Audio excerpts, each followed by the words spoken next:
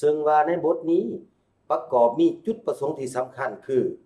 1. เพื่อให้นักศึกษาเข้าใจได้เกี่ยวกับการผันเปลี่ยนเงินกลายเป็นทุนและจากนั้นแมนให้นักศึกษารับรู้ได้เรื่อง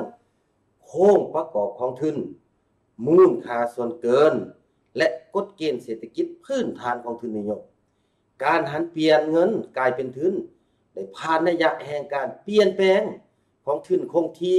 ทุนเปลี่ยนแปลง ทุนหมุนเวียน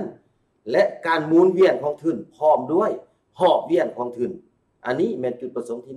1ส่วนว่าจุดประสงค์ที่2นั้น แมนให้นักศึกษาวิเคราะห์ได้